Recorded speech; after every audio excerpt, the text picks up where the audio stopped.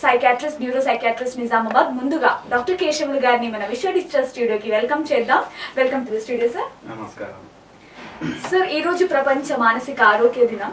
మరి ఈ ప్రపంచ ఆరోగ్య దినం అంటే ఏంటి? మనం ఈ రోజు ఈ దినంగా మనం ప్రపంచ వ్యాప్తంగా ఎందుకు కొనియాడుతుంటాం? ఖచ్చితంగా అమ్మ మనిషి యొక్క ఆరోగ్యం గురించి అంటే మానసిక ఆరోగ్యం గురించి మనం ఈరోజు చర్చించబోతున్నాం. ఒక దేశమైనా ఒక వ్యవస్థ అయినా బాగుండాలంటే ఆ దేశానికి పట్టుగొమ్మలు వెన్నుగొమ్మలు ఎవరు? వ్యక్తులు అంటే ప్రజలు. ఆ ప్రజల యొక్క ఆరోగ్యమే బాగలేకపోతే ఆ వ్యవస్థ అయినా ఆ దేశమైనా దేశ సౌభాగ్యమైనా దేశం యొక్క వృద్ధి అయినా ముందుకెళ్ళలేదు. అంటే ఇటు శారీరక ఆరోగ్యం ఎంత ముఖ్యమో మానసిక ఆరోగ్యం అంతకంటే కూడా ముఖ్యం. ఎందుకంటే ఒక కైన్కు రెండు వైపులు ఒక వైపు ఒకవైపు ఒక వైపు మానసికం చూసుకున్నప్పుడు అంటే ఈ రెండు బాడీలు అంటే ఈ రెండు పార్ట్ సరిగ్గా ఉన్నప్పుడే మనిషి ముందుకు వెళ్ళ వెళ్ళగలుగుతాడు.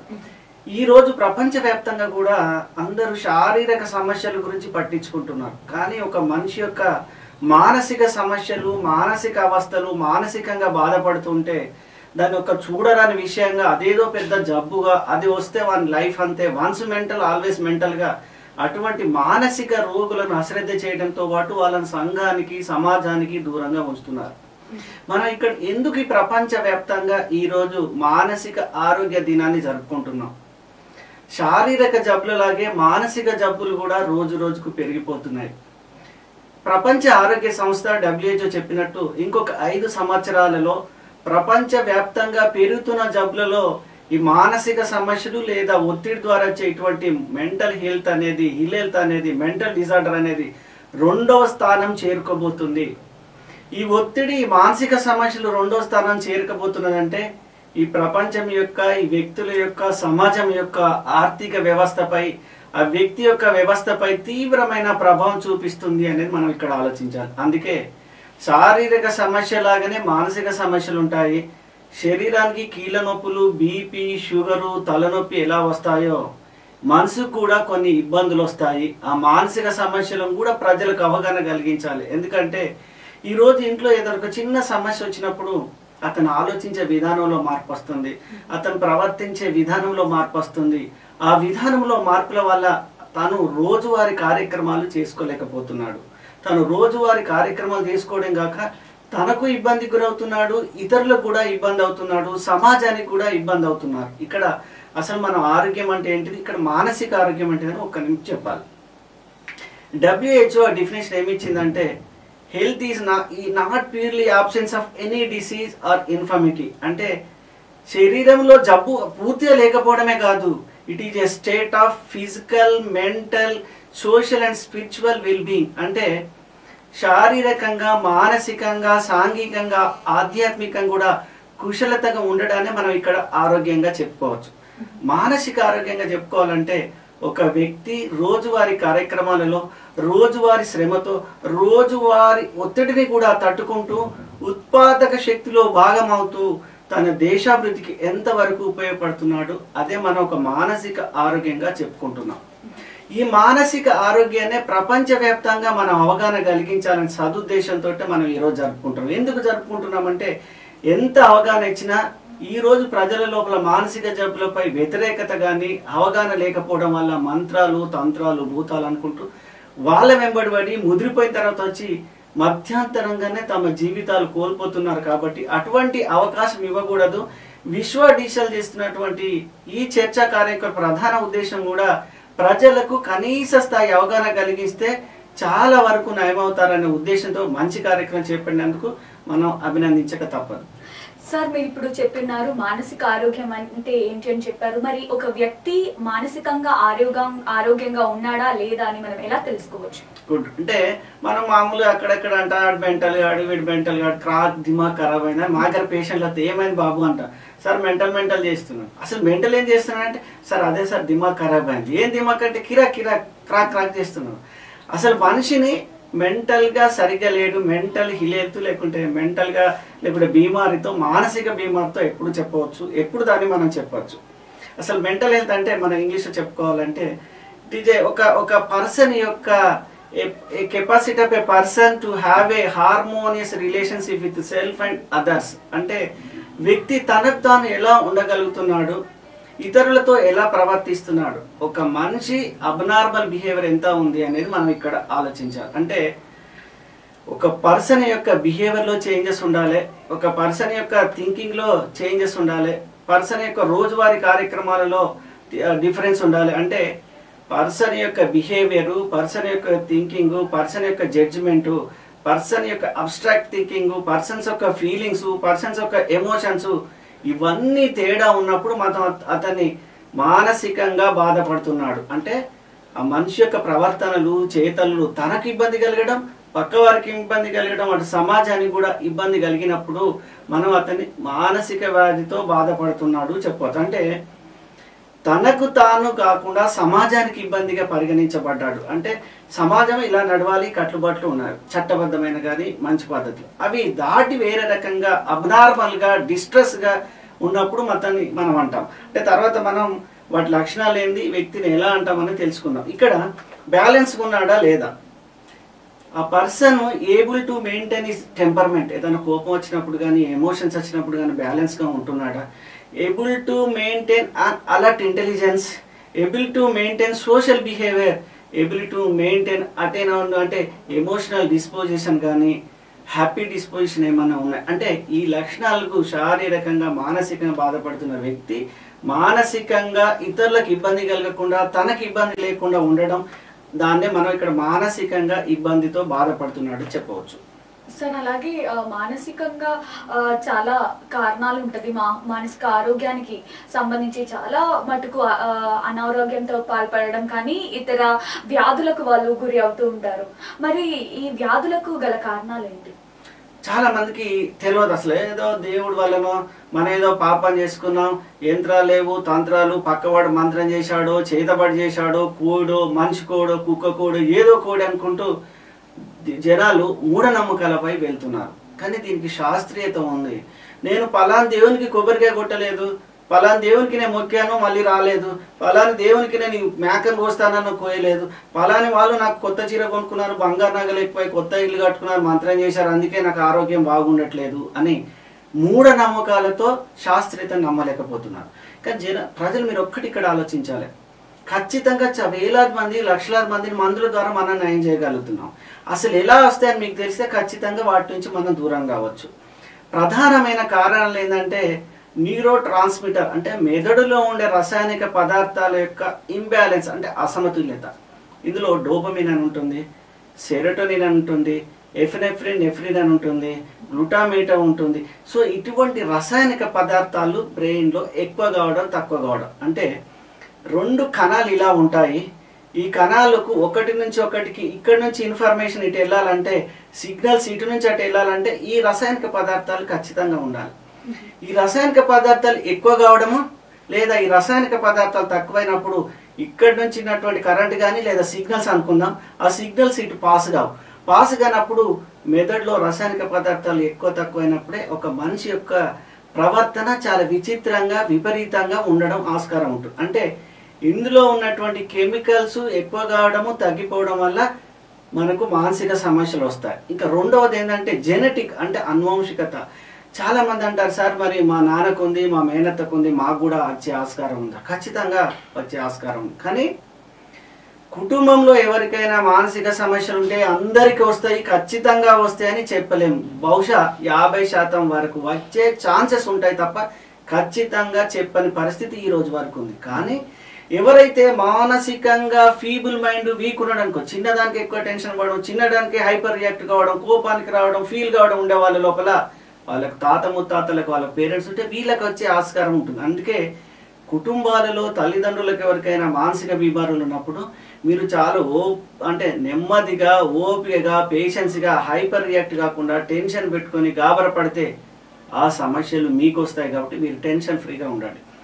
మూడవది మనకైతే బ్రెయిన్కి ఏమైనా డ్యామేజ్ కానీ ఏమైనా ఇంజురీస్ కానీ అయినప్పుడు వస్తుంది. ఇక నాలుగోది అంటే సైకలాజికల్ ఫ్యాక్టర్స్ ఒక వ్యక్తి పుట్టిన విధానం ఎలా ఉంది? గర్భంలో ఉన్నప్పుడు ఏమైనా ఇన్ఫెక్షన్స్ వచ్చాయా? డెలివరీ అయినప్పుడు నార్మల్ డెలివరీ అయ్యారా లేకుంటే కష్టతరమైన డెలివరీ అయిందా? అంటే ఇరవై నాలుగు గంటల దాకా బయటకు రాకపోవడము ఫోర్సెప్స్ ద్వారా బలవంతంగా ఇంకడం గ్రామీణ ప్రాంతాల్లో పల్లెటూళ్ళలో దాయాలని ఆయాలని బలవంతంగా చేయడం అనేది ఇబ్బంది జరుగుతుంది. సో ఒకటి కడుపులో ఉన్నప్పుడు తర్వాత ప్రెగ్నెన్సీ డెలివరీ అయినప్పుడు డెలివరీ అయిన తర్వాత ఏమైనా ఫిట్స్ వచ్చాయా? ఇంకేమైనా ఇబ్బందులు ఉన్నాయా అనేది కూడా ముఖ్యం. అంతేకాదు తల్లిదండ్రులకు ఆ పిల్లలకు ఉన్న సంబంధం ఏంటి? తల్లిదండ్రులకు ఏమైనా అలవాట్లు ఉన్నాయా? తల్లిదండ్రుల యొక్క ప్రవర్తన సరిగ్గా ఉన్నాయా? తల్లిదండ్రులు పిల్లల మధ్య అన్యోన్యంగా ఉన్నారా? వీళ్ళకి చెడు అలవాట్లు ఉంటే వీళ్ళకి చెడు అలవాట్లు. అమ్మానాలు కొట్లాడుకోవడం అనుమానపడడం తన్నుకోవడం వేరే బ్యాడ్ హ్యాబిట్స్ ఉన్నాయా? అవి కూడా పిల్లల యొక్క ప్రభావం చూపిస్తుంది. ఒక్కటి గుర్తుపెట్టుకోండి.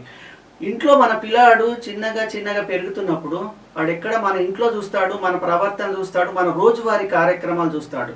ఈ రోజు నేను తెలుగు మాట్లాడుతున్నానంటే నా ఇంట్లో మన అమ్మ నాన్న తెలుగులో మాట్లాడరు కాబట్టి అది నేర్చుకున్నాం. అంటే ఈ వయసులో లెర్నడ్ బిహేవియర్ అంటారు. అంటే మనని చూసి మన పిల్లలు నేర్చుకుంటారు. నేను తమిళం మాట్లాడితే తమిళం మలయాళం మాట్లాడితే మలయాళం. అంటే మనం చేసే ప్రతి పనిని వాళ్ళు అబ్జర్వ్ చేస్తారు. మన ద్వారానే అమ్మ నాన్న నేర్చుకుంటారు కాబట్టి కేవలం మాటలు మాత్రమే కాదు పదాలు మాత్రమే కాదు ప్రవర్తనం కూడా ఖచ్చితంగా నేర్చుకుంటారు. చాలా మంది నా కొడుకు బాగా తాగుబోతు సార్ వింటలేరు అంటారు కానీ తల్లిదండ్రులు అంతకంటే ఎక్కువ తాగుబోతు కాబట్టి మీరు మారకపోతే పిల్లలు మారే అవకాశం అనేది తక్కువగా ఉంటుంది. మిమ్మల్ని చూసి వాళ్ళు నేర్చుకుంటున్నారు కాబట్టి ప్రవర్తన మీరు ఖచ్చితంగా ఉండాలి. ఇక నాలుగో విషయం ఏంటంటే ఇన్ఫెక్షన్స్ కూడా వస్తాయి చిన్నప్పుడైనా పెద్ద పెరిగిన తర్వాత మెదడుపై ఏమైనా ఇన్ఫెక్షన్స్ వచ్చినప్పుడు కానీ ఇప్పుడు మామూలుగా స్ట్రెప్టోకోకల్ ఇన్ఫెక్షన్ అనేది ఉంది. దానికి ఓసిడ్ అనే జబ్బు వస్తుంది. చాలా రోజుల నుంచి రీసెర్చ్ల ద్వారా తెలిసింది. అంటే ఈ మెనింజైటి చిన్నప్పుడు వచ్చేసిన అది ఎన్కెఫలైటిస్గా మారి మెదడుపై తీవ్రమైన ప్రభావం చూపిస్తే తర్వాత తర్వాత కూడా అతని ప్రవర్తనలో మానసిక ప్రవర్తనలో మార్పు వచ్చి మానసిక సమస్యలు గురే ఆస్కారం అనేది ఎక్కువగా ఉంది. ఇంకా ప్రధానమైన కారణం సోషల్ ఫ్యాక్టర్స్ ఈ సోషల్ ఫ్యాక్టర్స్ గురించి మనం ఆలోచిస్తే భారతదేశం పేద దేశమే. గ్రామీణ ప్రాంతం డెబ్బై శాతం పైకి గ్రామీణ దేశంలో చాలామంది ఈరోజు ఈ రోజు కూడా వలసలు వస్తున్నారు. పట్టణీకరణ పెరిగిపోతుంది. ఇక్కడికి వస్తే ఇంగ్లీష్ భాషకు లేకుంటే వేసే వేరే భాషలకు అలవాటు పడకపోవడం ఇక్కడున్న స్టైల్ వాళ్ళు నేర్చుకోలేకపోవడం ఇక్కడికి వచ్చిన తర్వాత కూడా పని లేకపోవడం నిరుద్యోగము పరీక్షలో ఫెయిల్ కావడము దగ్గర వాళ్ళు చనిపోవడము గ- ఆత్మీయులు చనిపోవడం బా లేదంటే లవర్ చనిపోవడము ఇలా ఇలా జరగడం వల్ల కూడా మానసిక సమస్యలు వస్తాయి. అంతేకాదు ఈ వాతావరణ పరిస్థితుల వల్ల మనకు తెలుసు కదా అతివృష్టి అనావృష్టి వల్ల కూడా రైతులు చనిపోయారు. ఏమైనా ఉద్యమాల వల్ల కూడా అట్లా చనిపోతారు. అంటే మానసికంగా కొందరు ఎక్కువ రియాక్ట్ కావడం అనేది జరుగుతుంది. ఇంకోటి ప్రధానంగా ఈరోజు పిల్లల లోపల కూడా మానసిక సమస్యలు ఎక్కువగా అవుతున్నాయి. ఇది కాదనలేని సత్యం. ఇప్పటికే ప్రపంచవ్యాప్తంగా యాభై కోట్లకు దరిదాపుగా మానసిక సమస్యలతో బాధపడుతున్నారంటే ఈ ప్రపంచ పరిస్థితి ఎంత తీవ్రంగా ఉందో మనం ఇక్కడ ఆలోచించాలి. చాలామంది తల్లిదండ్రులు ఉద్యోగంపై సంపాదనపై చూపిస్తున్నటువంటి శ్రద్ధ వాళ్ళ పిల్లల చదువులపై కానీ వాళ్ళ పిల్లల ప్రవర్తనపై కానీ వాళ్ళ పిల్లలు ఏం చేస్తున్నారో చూడకపోవడం మనం చూసాం హైదరాబాద్లో యాక్సిడెంట్లు చేశారు బాగా తాగారు చిన్నపిల్ల అమాయకులకు బలి చేస్తున్నారు అమాయక అమ్మాయిలపై దాడులు చేస్తున్నారు. ఇంకా ఇంకా అనేక రకమైన మత్తు పదార్థాలకు బానేసిన సంఘటనలు మనం చూస్తున్నాం. అంటే పైసలు ఇస్తున్నాం సంపాదిస్తున్నాం ఇస్తున్నాం తప్ప నా కొడుకు మంచిగా ఉంటాడు అనుకోవడం అనేది మూర్ఖత్వం. ఖచ్చితంగా మీరు వాళ్ళ మీద ఒక కన్ కన్ను వేయకపోతే వాళ్ళు అనేక మత్తు పదార్థాలకు బానిసై చివరికి మానసికంగా ఖరాబ్ అయిపోయి ఇటు మీ కుటుంబానికి అమాయకులకు సమాజానికి కూడా బలవుతున్న విషయం మనం ఇక్కడ మర్చిపోవద్దు. అంటే మెదడులో కలిగే రసాయనిక పదార్థాల చేంజెస్ ఒకటి కుటుంబముల యొక్క ప్రవర్తనలు ఒకటి ఈ సమాజం యొక్క ఒత్తిడుల మూలంగా మానసిక సమస్యలు వచ్చే ఆస్కారం ఎక్కువగా ఉంది. ఇవే మనం ప్రధాన కారణాలుగా చెప్పుకోవచ్చు. సార్ అలాగే మానసిక జబ్బు ఒకవేళ మన దినచర్యలో ఉన్నటువంటి ఇతర తరాలైనటువంటి ఒత్తిడిల వల్ల జరుగుతుందని అంటే చాలా మంది ఆ, ప్రతి మనిషి ఏదో ఒక రకమైన ఒత్తిడికి పాల్పడుతున్నారు ఒక రోజు. మరి ఆ, మానసిక జబ్బు కొంతమందికి మాత్రమే పరిమితంగా ఉంటుందా? లేకపోతే అందరికీ మానసిక జబ్బు వచ్చేటటువంటి అవకాశాలు ఉన్నాయా? మంచి క్వశ్చన్ అమ్మా ఇప్పుడు అసలే సమస్యల సుడిగుండంలో మనిషి బాధపడుతూ ఈదుతూ ముందుకెళ్తున్నాడు ఈ సమస్యలు చాలా అన్నట్టు ఇబ్బంది వచ్చినప్పుడు కొందరు మంచి మార్గం వైపు వెళ్తున్నారు కొందరు చెడు వైపు వెళ్తున్నారు. మంచి మార్గం అంటే ఏదైనా ఇబ్బంది ఉంది స్ట్రెస్ ఉంది సీనియర్లను కానీ కౌన్సిలర్ను కానీ గొప్ప వాళ్ళను పెద్ద వాళ్ళని టీచర్ దగ్గర బాధ చెప్పుకోవడం ఉమ్మడి కుటుంబం ఉన్నప్పుడు అట్లా చెప్పుకునే వాళ్ళు. ఇప్పుడు తెలిసిన వాళ్ళ ద్వారా వాళ్ళ బాధలు సమస్యలు పరిష్కరించుకుంటున్నారు. కొందరు చిన్న విషయానికే దాన్ని భూతద్దంలో పెట్టి పెద్దగా ఊహించుకొని అతిగా ఊహించుకొని భయపడుతూ ఈ సమస్య నా నుంచి కావట్లేదు ఏం చేయాలి బతకాలా చచ్చిపోవాలా? అటువంటి పరిస్థితిలో మందు కానీ మత్తు మత్తు పదార్థాలు కానీ సిగరెట్ కానీ గుట్కా కానీ గుల్ఫరం కానీ జర్జ కానీ అలవాటు పడి వాళ్ళ జీవితాలను మధ్యంతరంగానే కోల్పోతున్నారు. మీరు అన్నారు ఒత్తిడి అనేది ఈరోజు సర్వసాధారణమైంది. ఒత్తిడి ఒక మామూలు వరకు ఓకే. అది ఎక్కువగా ఒత్తిడి అయినప్పుడు అది ఒక జబ్బుగా పరిగణించే ఆస్కారం ఉంది. ఒత్తిడి ఎవరిలో ఎక్కువ ఉంటుందో వాళ్ళకు మానసిక సమస్యలు వస్తాయి. ఒత్తిడిలో ఎవరు ఎక్కువ గురవుతున్నారో వాళ్ళకు గుండె జబ్బులు వస్తున్నాయి. అంటే మనిషి మానసికంగా ఇబ్బంది ఎక్కువగా ఊహించుకొని అతిగా ఊహించుకొని ఆరాటపడుతూ ఇబ్బంది పడితే అటు మనసుపై ఇటు శరీరంపై తీవ్రమైన బాధలు ఇబ్బందులు కలిగిస్తున్నాడు. మీరు అన్నారు కొందరికే పరిమితమా? లేదు. ప్రపంచవ్యాప్తంగా మానసిక సమస్యలు రోజు రోజుకు పెరిగిపోతున్నాయి. మానసిక సమస్యలు కేవలం చిన్నపిల్లలకే కాదు ఆడవాళ్ళకే కాదు ముసలి వాళ్ళకే కాదు లైంగిక భేదం లేదు జాతి లేదు ప్రాంతీయ భేదం లేదు. ప్రపంచంలో ఇందు గలడందు లేడని సందేహమే వాళ్ళదు. ఎందెందు వెతికినా ఏ దేశం పోయినా మానసిక సమస్యలు ఉన్నాయి లేదు అనేది లేదు. ప్రపంచంలో స్కిజోఫ్రేనియా లేని దేశం లేదు. డిప్రెషన్తో ఆత్మహత్య చేసుకొని చనిపోతున్న సందర్భాలు చూస్తున్నాం. అంటే మానసిక సమస్యలు సర్వవ్యాప్తము. అభివృద్ధి చెందిన దేశాలలో ఉన్నాయి. అమెరికాలో ఎంతమంది కాల్పులకు హత్యలు చేస్తున్నారు ఆత్మహత్యలు చేసుకుంటున్నారు. అభివృద్ధి చెందుతున్న భారతదేశంలో హత్యలు ఆత్మహత్యలు మానసిక సమస్యలు. అభివృద్ధి చెందని కా మన ఏమంటారు ఆసియన్ ఓ ఆఫ్రికన్ కంట్రీస్లలో కూడా పరిస్థితులు ఎలా ఉన్నాయో మనం ఆలోచించాలి. అంటే ఇక్కడ ఉన్నవారు లేనివారు అసలే లేనివారు కూడా ఈ సమస్యల బారిన పడుతున్నారు. అందుకే అంతర్జాతీయంగా ప్రపంచవ్యాప్తంగా మానసిక రోగుల సంఖ్య మానసిక సమస్యల సంఖ్యతో ఇది రోజు రోజుకు జబ్బులు పెరుగుతున్నాయి. మనుషులు కూడా బలవుతున్న విషయం మనం ఇక్కడ మర్చిపోకూడదు. అందుకే ఇది కొందరికి పరిమితం కాదు ఎవరికైనా రావచ్చును. అందుకే ఒక వ్యక్తి యొక్క ఆలోచన విధానము ఇవి ఒక వ్యక్తి యొక్క చేసే పనులను బట్టి ఒక వ్యక్తి యొక్క భావ వ్యక్తీకరణను బట్టి అతని యొక్క మనసు ఆధారపడి ఉంటుంది. అతని యొక్క మానసిక ఆరోగ్యం ఆధారపడి ఆధారపడి ఉంటుందనే విషయం మనం ఇక్కడ మర్చిపోకూడదు. మన ఆలోచనలు మన చేతలు మన ప్రవర్తనలే మన భవిష్యత్తును తీర్చిదిద్దుతాయి కాబట్టి ఇవి మార్చుకోగలిగితే ముందుకు తీసుకెళ్ళగలిగితే ఖచ్చితంగా మానసికంగా ఆరోగ్యం ఉంటే శారీరకంగా కూడా మీరు ఆరోగ్యంగా ఉంటారు. మీ మనసు మంచిగా ఆలోచిస్తే శరీరాన్ని మంచిగా ఉండాలనుకుంటారు మంచిగా చేసుకోవాలనుకుంటారు. అప్పుడు శరీరం మంచిగా ఉంటుంది కడుపు నిండా పౌష్టికారం తింటారు శుభ్రంగా ఉంటారు. అప్పుడు మంచి రక్తంతో మెదడుకు మంచి రక్త ప్రసరణ జరుగుతాయి మంచి ఆలోచనలు వస్తాయి. అంటే ఇవి విడదీయరాని బంధం. మనసు బాడీ రెండు ఒక కాయిన్కు రెండు వైపులు ఎలా ఉంటాయో ఇవి కూడా రెండు వైపులా. అందుకే మంచి ఆలోచనతోటి ముందుకు వెళ్తాం సార్ అలాగే మానసిక సమస్యలు ఉన్న- ఉన్నటువంటి వాళ్ళలో మనం లక్షణాలు ఎలా గుర్తించవచ్చు? ఖచ్చితంగా అమ్మా ఒక మనిషి మానసికంగా ఎలా ఉన్నాడు? చా మామూలుగా అంటే వాడు మెంటల్ గాడు మెంటల్ గాడు దిమాగ్ ఖరాబ్ అయిందంట. మనం అతని యొక్క ప్రవర్తన చూడాలి. అంటే ఇప్పుడు బయాలజికల్ ఏమేమి ఉన్నాయి? అంటే మామూలుగా రోజువారి ప్రవర్తనలో ఏమైనా తేడాలు ఉన్నాయా? అతని యొక్క నిద్ర ఎలా ఉంది? కొన్ని పేషెంట్లలో నిద్ర ఎక్కువగా ఉండడం నిద్ర తక్కువగా ఉండడం ఆకలి ఎక్కువగా తీసుకోవడం కొందరు తక్కువగా తీసుకోవడం ఇంకా ప్రధానమైనది మనం ఇక్కడ ఆలోచించాలంటే అతని యొక్క ప్రవర్తన అతని యొక్క థాట్ ప్రాసెస్ చూడండి. అతను ఆలోచించే విధానం చాలా విచిత్రంగా టిపికల్గా నమ్మశక్యంగా ఉంటుంది. తను ఏమనుకుంటాడంటే నా గురించి వీళ్ళందరూ ఏదో చెడు చేస్తున్నారు నన్ను ఏదో చంపడానికి వస్తున్నారు నన్ను ఏదో చేస్తారు అంటే డెల్యూషన్స్ అంటారు ఇవి. ఇవి నిజంగా అతని భ్రమలు మాత్రమే. ఫాల్స్ బిలీఫ్స్ అంటే వెరీ ఫిక్స్డ్ అన్నట్టు అంటారు. కాదురా నాన్న నేను ఎవరు చంపరు నేను ఎవరు కొట్టరు నీ గురించి ఎవరేమనుకుంటలే లేదు వాళ్ళు నన్ను చంపుతారు నా గురించి నెగటివ్గా ఆలోచిస్తున్నారు నా గురించి వేరే రకంగా ఆలోచిస్తున్నారు అంటాడు. అంతేకాదు తన ఆలోచనలన్నీ తను చేస్తున్నాయని ఇవన్నీ నేను చేయట్లేదు. నన్ను ఎవరో కంట్రోల్ చేస్తున్నారు. అంటే డెల్యూషన్స్ ఆఫ్ కంట్రోల్ నేను ఇవన్నీ ఇప్పుడు నేను మాట్లాడుతున్నాను నేను కదా సార్ నన్ను ఎవరో పై వాళ్ళు బయట వాళ్ళు మాట్లాడిస్తున్నారు. ఇది నేను కొట్టాను కింద పడేశానంటే నేను చేయలేదు. వాళ్ళు చెప్పారు నేను చేశాను. ఇంకా డెల్యూషన్స్ ఆఫ్ నియలిస్టిక్ అంటే వాళ్ళు ఏం చేస్తారంటే సార్ ప్రపంచం కొద్ది రోజులలో ఎండ్ అయిపోతుంది మునిగిపోతుంది. నా శరీరంలో కాలే లేవు సార్. నా శరీరంలో మెదడు లేదు. అంత వట్టి డబ్బా సార్. ఎలా మాట్లాడుతున్నానో.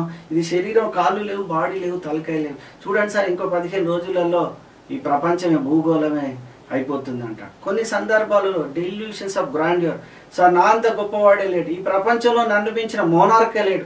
నేను తలుచుకుంటే ప్రపంచంలో వందలు వేల కోట్లు కూడా నేను ఇప్పుడు తయారు చేయగలుగుతాడు. అంటే గొప్ప గొప్ప మాటలు మాట్లాడు. తానంత గొప్పవాడు లేదంటాడు. ఈ ప్రపంచాన్ని నేనే క్రియేట్ చేశాను నేనే కంట్రోల్ చేస్తానని కూడా అంటాడు. అంటే ఈ రకంగా కూడా ఉంటాడు. అంటే డెలిషన్స్ ఆఫ్ గిల్టీ సార్ ఇంకా రివర్స్ అన్నాడు దీన్ని. నేను ఏదో తప్పు చేశాను సార్ నేను ఏదో బాధపడుతున్నాను ఈ తప్పుకు నేనే నాకు బతకబుద్ధి అయితే లేదు అని అంటాడు. అంటే ఒకసారి ఉన్న స్థితికి ఒకసారి నార్మల్కి ఒకసారి డౌన్కి వస్తాడు. అంటే థాట్ ప్రాసెస్ లోపల అతని విపరీతంగా ఉంటాడు ఇంకోటి ఏంటంటే ఫాల్స్ పర్సెప్షన్స్ ఎవరు తన గురించి మాట్లాడారు? కానీ నా గురించే మాట్లాడుతున్నారు. వాళ్ళు ఏదో మాట్లాడుతున్నారు. నాకు చెవులు వినబడుతుంది సార్ అంటాడు. అక్కడ చూస్తే మనుషులు ఎవరు లేరు కదా బిడ్డ. కానీ మీకు కనబడతలేరు సార్. నాకు మాత్రం మంచి కనబడుతున్నారు సార్ అంటాడు. ఏదో వాసన ఉండే అక్కడ. వాసనలు ఉన్నాయి సార్. నాకు వాసన వస్తున్నాయి సార్ అంటాడు. ఈ బొమ్మలు ఉన్నాయి సార్. ఏదో మనుషులు ఉన్నారు అంటాడు సో ఇక్కడ టేస్ట్ ఏముండదు. టేస్ట్గా ఫీల్ అవుతాడు. తీసుకుంటాడు సార్. నాకు ఏదో డిఫరెంట్ టేస్ట్ అయింది. పక్క వాళ్ళు చూస్తే నార్మల్గా ఉంటుంది. ముక్కులో చూస్తే వాసనే ఉండదు. కానీ మిగతా వాళ్ళకి వాసన ఉండదు వీరికి మాత్రం వాసన ఏదో నోట్లో చూస్తాడు సార్ ఏదో తల నాకు ఏదో రుచి కనిపిస్తుంది అంటాడు. చేతులు చూస్తే ఏదో ఉన్నది అంటాడు. అంటే ఈ పంచ ఇంద్రియాలు అంటారు పంచ ఇంద్రియాల లోపల మార్పు వస్తుంది. ప్రధానంగా ఎవరో మాట్లాడుతున్నారు ముచ్చట పెడుతున్నారు అంటారు ఇంకోటి ఏంటంటే ఇల్యూషన్. మామూలు అక్కడ ఒక జడలాగా తాడు పడి ఉంటుంది. కానీ వీడు పాము అంటాడు. కాదు బిడ్డ తాడరా చూసి ఉంటే లే మీ తాడు కనబడుతుంది నాకు మాత్రం. అది స్నేకే పామే అంటాడు. అంటే అతని ఫీలింగ్స్ లోపల భ్రమలు భ్రాంతులు అనేది ఎంత చెప్పినా వానికి అర్థం కాదు వాటిని నమ్మడు. అంటే ఈజ్ అవే ఫ్రమ్ రియాలిటీ అరే ఇది తాడు అని ఇట్లా చూపించినా కూడా ఖచ్చితంగా ఇది పామే అంటాడు. నువ్వు ఎంత చెప్పు వాడు నమ్మడు. అంటే సత్యానికి దూరంగా ఉండే ప్రవర్తన అన్నట్టు. Is away from the reality నిజానికి వాడు చాలా దూరంగా ఉంటాడు ఎంత కన్వీనియన్స్ చేసినా వాడు నమ్మడు. ఇంకోటి ఏంటంటే వాని యొక్క అటెన్షన్ కాన్సన్ట్రేషన్ ఇక్కడ ఉన్న ఇక్కడ మాట్లాడుతున్నాం. వాడు ఏదో పోతాడు అడు చూస్తాడు ఇటు చూస్తాడు. ఏదన్నా మరి ఇది ఏం చేస్తున్నారు అంటే అబ్బా ఇప్పుడే ఇంకా మర్చిపోయినా అంటారు అక్కడ అటెన్షన్ కాన్సన్ట్రేషన్ దెబ్బతింటుంది. అబ్స్ట్రాక్ట్ థింకింగ్ కూడా దెబ్బతింటుంది. మెమొరీ కూడా దెబ్బతింటుంది. ఏం మాట్లాడతాడో తెలియని పరిస్థితికి వస్తాడు. అంటే అతని యొక్క యాక్షన్ల లోపల తేడా ఉంటుంది అతని ప్రవర్తన లోపల తేడా ఉంటుంది. చివరికి ఇంట్లో భార్య కూడా నాకు ఏదో హాని చేస్తుంది నన్ను మోసం చేస్తుంది. Delusions of jealousy or delusion delusions infidelity అంటారు భార్య కానీ భర్త కానీ భర్త అనుకుంటాడు ఈ భార్య నాకు మోసం చేస్తుంది నాతో సంతోషంగా హ్యాపీగా మాట్లాడతలేదు వేరే వాళ్ళతో ఖుషిగా మాట్లాడుతుంది. భార్య అనుకుంటుంది సరే ఈ మొగోడు నాతో ఉంటాడు ఈవినింగ్ రాత్రి పదకొండు గంటలకు వస్తే వేరే వాళ్ళతో పోతుంది వాస్తవంగా ఇద్దరు మంచి వాళ్ళే వాళ్ళు. అతరులతో పోరు ఇతరులకు ఇతరికి అక్రమ సంబంధం ఉండదు. కానీ వీళ్ళు డెల్యూషన్స్ అంటే మనం తెలుసుగా ఇది ఫాల్స్ బిలీఫ్ వెరీ ఫిక్స్డ్ ఎంత కన్వీన్ చేసినా నువ్వు చూసినావమ్మా అంటే చూడలే. కానీ నాకు నమ్మకం సార్ హండ్రెడ్ పర్సెంట్ నాకు తెలుసు సార్ వీళ్ళు వాళ్ళతో లింక్ ఉన్నది. వీడు వాళ్ళతో లింక్ ఉన్నదని సో ఇటువంటి మానసిక ప్రవర్తనలో తేడా ఉంటుంది. అంతేకాదు సెల్ఫ్ కేర్ అనేది తగ్గిపోతుంది. మానసికంగా ఉండేవాడు ఇతరులతో రోజు ఫ్రీగా మాట్లాడేవాడు ఇప్పుడు రోజు ఫ్రీగా మాట్లాడు. ఎక్కువ మాట్లాడేవాడు తక్కువ మాట్లాడు రోజు రోజుకు స్నేహితులకు దూరంగా ఉంటాడు ఇంట్లో కూడా దూరంగా ఉంటాడు. ఇంట్లో అందరితో అరే నాలుగు ఆరైంది కదా బిడ్డ లేచి స్నానం చేయాలంటే చేయను అని పడుకోవడం. నిద్ర ఇష్టం ఉన్న టైంలో పోవడం. అంటే స్నానం చేయాలన్నా కూడా వాడు చేయలేకపోవడం. ఇంట్లోనే ఒక social withdrawn or personal withdrawn వాడు ఇంటి నుంచి వాడే లోంటరిగా లోపల విడిపోతాడు అంతేకాదు శారీరకం ఉండకపోయినా నలుగురితో ఎలా ఇంటరాక్ట్ కావాలో తెలియదు వచ్చినా కూడా వాళ్ళ ఇంట్లో వేరే చూపు చూస్తాడు డిఫరెంట్గా ఉన్నారు. వీళ్ళు ఎందుకు వచ్చారు నాకు ఏం చేస్తారో అనుమానం చూపులు చూస్తాడు చీకట్లో ఉండడానికి ఒంటరిగా ఉండడానికి. ఇంకా కొన్ని సందర్భాల్లో నా బతికే వేస్ట్ ఇది డిప్రెషన్లో ఉంటుంది నా బతికే వేస్ట్ అంటే ఈ లక్షణాలు ఒక్కొక్క జబ్బులో ఒక్కొక్క రకం ఉంటుంది. డిప్రెషన్ తీసుకుందాం మనం. డిప్రెషన్లో వాడు ఎప్పుడు సాడ్ మూడ్గా ఉంటాడు. ఇంకా ఇంట్రెస్ట్ ఏదేది ఇంట్రెస్ట్ ఉంటుందో ఆ ఇంట్రెస్ట్ అనేది తగ్గిపోతుంది. అంటే ఇక్కడ sad mood loss of interest in pleasurable activities. వాళ్ళు క్రికెట్ ఆడడం చాటింగ్ చేయడం చాలా ఇష్టం. కానీ డిప్రెషన్కి వచ్చిన తర్వాత వీటి మీద అసలు ఇంట్రెస్ట్ ఏ ఉండదు. ఇంకోటి lack of energy lack of activities. అంటే వాడు రోజు యాక్టివ్గా ఫైల్ వాళ్ళకుంటే దిల్దార్గా మాట్లాడేటోడు చే- చేసేటోడు వాడు డల్గా చాతగాని లాగా ఉంటాడు అంటే ఈ మూడు లక్షణాలు ఉన్నప్పుడు మనం డిప్రెషన్గా గుర్తిస్తాం. అంటే వానికి నా బతుకు waste. Worthlessness helplessness hopelessness guilty feelings నేను బతుకుడే వేస్ట్ నేను ఉండుడే వేస్ట్ అని వాడు సూసైడల్ టెండెన్స్కి వెళ్ళిపోయినప్పుడు అది సివియర్ డిప్రెషన్గా మనం గుర్తిస్తాం. ఇంకోటి ఏంటంటే మనం ఇప్పుడు స్కిజోఫ్రేనియా స్కిజోఫ్రేనియా అనగానే వాని యొక్క ఆలోచనలు మాట్లాడు ఎక్కువ అనుమానం ప్రతి దానికి అనుమానం తినాలన్నా వీళ్ళెవరు కలిపారేందో? ఈ పాలు పెడితే వీళ్ళు ఏదో తీసుకురు డాక్టర్ సాబ్ ఏదో మిషన్ పెట్టి టెస్ట్ చేస్తున్నాడు వీడు చంపడానికి చేస్తుండో హాస్పిటల్ తీసుకుపోతున్నాడు వీళ్ళందరూ కలిసి నన్ను ఖతం చేయడానికి. బయటకు వచ్చి ఎవరో చూస్తారా వీళ్ళు ఏదో చూడడం ఇంకేదంటే టీవీలో నా గురించే వస్తుంది ఛానల్లో నా గురించే వస్తున్నారు ఈ ప్రోగ్రాం నాదే. అబ్బా నా గురించే మాట్లాడుతున్నారు అని వానికి అనుమానం జబ్బు అనేది అధికంగా ఉంటుంది. సార్ అలాగే మనం కేశవ్ గారు మీరు చెప్పండి. చాలా మటుకు మీరు ఇప్పుడు వివిధ రకాలైనటువంటి మానసిక వ్యాధుల గురించి చెప్తున్నారు. మరి మన సమాజంలో మామూలుగా ఎక్కువ మటుకు కనిపించేటటువంటి ఆ, మానసిక జబ్బుల గురించి కొంచెం మా ప్రేక్షకులతో వి- వివరించగలరా? ఖచ్చితంగా లీతో మనం ముందు కూడా కొంత చర్చించాం. అనుమానం అనేది బాగా అయిపోయింది వ్యవస్థలో ఎంత ఘోరంగా తయారవుతున్నదంటే ఈ వ్యవస్థ. ఎంత నిజాయితీగా ఉన్న లేడీస్ను కొందరు అనుమానం చెప్తూ బాధిస్తున్నారు. మన దగ్గర చాలా మంది వస్తారు. సార్ నేను పక్కవంతో కనీసం తలెత్తి కూడా చూలే నేను అయినా వీడు నన్ను అనుమానిస్తుంది delusion of jealousy delusion of ఇది ప్రధానంగా ఎక్కువ అవుతుంది. ఇది కూడా స్కీజోఫ్రెయిన్ లాగా. చిన్న పిల్లని ఎత్తుకున్నా కూడా చిన్న పాపను ఎత్తుకున్నా కూడా నువ్వు ఆమెను ఎత్తుకున్నావు ఎందుకు? ఆమెను ఎత్తుకొని నువ్వేదో ఎంజాయ్ చేస్తున్నావు. ఛాతికి అద్దుకొని నువ్వేదో ఎంజాయ్ చేస్తున్నావు. మీ సొంత తమ్ముతో మాట్లాడావు. వాడు కూడా మొగాడేగా నువ్వు వానికి ఏదో చేస్తున్నావు. పక్క వాళ్ళతో మాట్లాడినా ఎంత ఘోరంగా ఉంటుందంటే ఈ భార్యాభర్తల అనుమానం. కనీసం వాళ్ళు వేసుకునే శరీరంలో ప్రతి ఒక్క బట్టను కూడా వాళ్ళు చెక్ చేస్తారు. అంటే ఇంత ఫ్రీగా తెలుగులో చెప్పలేము కాబట్టి వాళ్ళ శరీరంలో ఏమేమి ఉంటాయి ప్రతిదాన్ని చెక్ చేస్తారు. అంటే భర్త ఎవరితోటైనా కలిస్తే వాటి యొక్క వీర్యం ఏమైనా పడిపోయిందా? ఇంత తీవ్రమైన జబ్బు ఈ రోజు రోజు రోజుకు పెరిగిపోతుంది. అందుకే భార్యపై అనుమానంతో భర్త హత్య భర్తపై అనుమానంతో భార్య దాడి హత్య పురుషంగాలు తీసివేయడం ఇటువంటి ఘోరమైన సంఘటనలు నేరాలు ఘోరాలు రోజు చూస్తున్నాం. సో దయచేసి ఆడవాళ్ళైనా మగవాళ్ళని ఇక్కడ ఒక విషయం గుర్తుంచుకోవాలి. అది వాళ్ళు చెయ్యాలని కానీ చెప్పాలని కానీ చెయ్యాలని కానీ ఎట్టి పరిస్థితుల్లో వాళ్ళు ఆ పని చేయట్లేదు.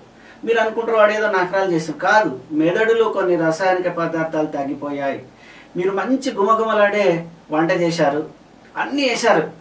కానీ ఉప్పు మాత్రం మర్చిపోయారు. మెదడులో ఉప్పు లాంటి ఒక రసాయనిక పదార్థం తక్కువ కావడమో ఎక్కువ కావడం వల్లనే ఈ జబ్బు వచ్చింది. అదే కూరలో మీరు ఎక్కువ ఉప్పు ఉప్పేసమే తినలేము. అసలు ఉప్పే లేకపోయినా తినలేము. అంటే డిఫరెంట్గా ఉన్నట్టు ఈ రసాయనిక పదార్థాలు తక్కువ ఎక్కువ కావడం వల్ల ఈ జబ్బు వస్తుంది. మీరు సరైన దగ్గరలో ఉన్నటువంటి మానసిక వైద్య నిపుణులు చూపిస్తే ఖచ్చితమైన మందులు ఇస్తే అది ఖచ్చితంగా తగ్గిపోతుంది. ఇంకోటి ఏంటంటే మధ్యలో ఆల్కహాల్ బాగా తాగుతున్నారు యువతి యువకులు. ఒక్క లీటర్ కాదు ఫుల్ బాటిల్ తాగుతున్నా. చూస్తే వాడు ఇరవై ఏళ్ళే ఉన్నాడు ఎంత తాగుతావు బేట అంటే ఫుల్ బాటిల్ తాగుతాం. మరి ఎందుకు పైసలు అంటే మా నాన్న దుబాయ్లో ఉన్నాడు సార్ పది ఎకరాలు ఉన్నాయి మన వాళ్ళకి ఇచ్చిన లక్ష వచ్చింది ఏం చేసుకుంటాం సార్? సో ఈ అలవాట్లు అనేది తీవ్రంగా అయిపోయినాయి. అంతేకాదు గుల్ఫారం అయితే ఐదు బాటిల్ ఒక్కోటి పన్నెండు దాకా తాగుతారు ఈ మధ్యలో ప్రభుత్వం గుల్ఫారంలో మత్తు పదార్థాలు కలపకూడదు డైజీఫాము క్లోరోఫాము ఆల్ప్రోజన్ బంద్ అనగానే అందులో మత్తు పదార్థాలు కలపలేకపోవడం వల్ల వాటికి ఒకేసారి అలవాటైనటువంటి వ్యక్తి కేవలం ఇరవై నాలుగు గంటల తర్వాతనే ఫిట్స్ రావడం పిసపిసగా మాట్లాడడం ఎవరో వస్తున్నారు చంపడానికి వస్తున్నారు కొట్టడానికి వస్తున్నారని విపరీతంగా ప్రవర్తించిన సంఘటన చూసాం అంతేకాదు ఇంట్లోకి వెళ్ళి బయటకు వెళ్ళి కిటికీలకు వెళ్ళి ఎవరో వస్తున్నారు దర్వాజలు ఎవరో చంపడానికి వస్తున్నారు పోలీసులు వస్తున్నారు కొడతారు చంపుతారని బయటకి గెంతేయడం పొలాలలో బయట ఉరకడం కొట్టడం చాలా సంఘటనలు మనం చూడడం జరిగింది. సో ఇది కూడా ఒక స్కీజో అంటే ఆల్కహాల్ విడ్రాల్లో ఇది కూడా ఒక జబ్బుగా మనం చెప్పుకోవచ్చు. ఇలానే డిప్రెషన్ గురించి కూడా మనం చెప్పాం. ఈ మధ్యలో ఇంకొక జబ్బు పెరిగిపోతుంది. పాపం ఇది అమ్మాయిలకు ఎక్కువ వస్తుంది. కడిగిందే కడగడం ముట్టిందే ముట్టడం చేసిందే చేయడం. ఆలోచించిందే ఆలోచించడం. చేతులు కడితే ముట్టుకున్న గంటలు గంటలు కడుగుతారు. బోలు దోమితే గంటలు గంటలు. బాత్రూమ్కి వెళ్తే రెండు గంటలు స్నానానికి వెళ్తే రెండు గంటలు. ఇంట్లో ఇరవై నాలుగు గంటలు చూసుకోవడం సిలిండర్ బంద్ చేసినా బంద్ చేయాలి పదిసార్లు చేయడం. తలుపు వేసానా లేదని పదిసార్లు. వచ్చిన ఆలోచనే పదే పదే. వాడు నన్ను ఇట్లా అన్నాడు. అది ఇట్లా. ఆడు ఊళ్ళో ఎవరో చనిపోయారు అనుకోండి నేను కూడా అట్లనే చచ్చిపోతానేమో. ఆయన అట్లే చచ్చిపోయింది ఆయన గుండెపోటు వచ్చింది నాకు వస్తేమో లేకుంటే రక్త పరీక్ష చేయించుకున్న పాపం మనకి హెచ్ఐ ఫాస్ట్ అని డౌట్ వచ్చింది. వాంది నాకు అంటిందేమో అని ఇలా చాలా మంది యువతి యువకులు ఈరోజు ఇటువంటి ఓసిడ్ అనే జబ్బుతో బాధపడుతున్నారు. అంటే ఇది రిపిటేటివ్ బిహేవియర్ అన్నట్టు. వానికి అసలు కడగాలని వద్దులే నేను కడగలే అనుకుంటాడు. కానీ కొన్ని సందర్భాలలో ఏమవుతుంది? కడగలేకపోతే వానికి టెన్షన్ తోటి ఉంటాడు. ఆ టెన్షన్ తగ్గించుకోవడానికి మళ్ళీ కడుగుతాడు. ఓకే కడిగినాక టెన్షన్ రిలీజ్ అవుతుంది. ఎంత వన్ మినిట్ మళ్ళీ ఇంకో ఆలోచన. మళ్ళీ కడగడం. సో వాని యొక్క అబ్సెషన్ను అబ్సెసివ్ థాట్స్ను సాటిస్ఫై చేయడానికి కంపల్షన్ అంటే కంపల్సరీగా వాడు కడగడం అనేది జబ్బు అవుతుంది. ఈ మధ్యలో ఇది పెరిగిపోతున్నారు. దీనికి కూడా మీరు చాదస్తం అనుకొని చాలా మంది మందులు వాడట్లేదు. దీనికి కూడా బ్రిలియంట్ మంచి మంచి మందులు వచ్చాయి. ఖచ్చితంగా హండ్రెడ్ పర్సెంట్ నూటికి నూరు శాతం తగ్గిపోతుంది. ఇది ముదిరిపోతే చాలా సంవత్సరాలు వాడాల్సి వస్తుంది కాబట్టి డాక్టర్లను పరి డాక్టర్లకు వచ్చి డాక్టర్ని సంప్రదిస్తే ఖచ్చితంగా నయం చేయవచ్చు. సార్ అలాగే మనం చూడొచ్చు సమాజంలో మానసికంగా సమస్యలు ఫేస్ చేసినటువంటి వ్యక్తులను రాళ్ళతో కొట్టడం కానీ వాళ్ళని రూమ్లో బంధించడం కానీ మరి గదిలో బంధించడం అలాగే రాళ్ళతో కొట్టడం వల్ల యాజ్ అ డాక్టర్ మీరు చెప్పండి సార్ ఇది ఎంతవరకు వాళ్ళ రోగానికి మనం న్యాయం చేసినట్టు అవుతాము? కరెక్ట్ లేదు. గతంలో మనోవ్యాధికి మందే లేదన్నారు. కరెక్ట్ గతంలో యాభై వంద సంవత్సరాల క్రితం డాక్టర్లు లేవు మందులు లేవు హాస్పిటల్స్ లేవు. బస్సులు లేవు ప్రయాణానికి ఏది లేవు. అప్పుడు కరెక్టే అనిపిస్తుందేమో. కానీ మనోవ్యాధికి మందులు వచ్చాయి ఈరోజు. ప్రతి డిస్టిక్ ఎడుగట్టలో ఐదారు సైకియాట్రిస్టులు ఉన్నారు పెద్ద పెద్ద హాస్పిటల్స్ ఉన్నాయి మాలాంటి వాళ్ళు ఉన్నారు. ఇప్పుడు కూడా మందులు లేవని నానుడితో రాళ్ళతో కొట్టడము చెట్లు కట్టేయడము రూమ్లో బంధించడం ఎంతవరకు సమంజసం? దానివల్ల సమస్య మరింత ముదిరిపోయి వానికి ముదిరిపోయిన స్థితిలో డాక్టర్ దగ్గర తీసుకొస్తే వాడు చనిపోయే ఆస్కారం ఎక్కువగా ఉంటుంది. కాబట్టి రాళ్ళతో కొట్టి గదులతో బంధించడం అనేది అనాగరిక చర్య.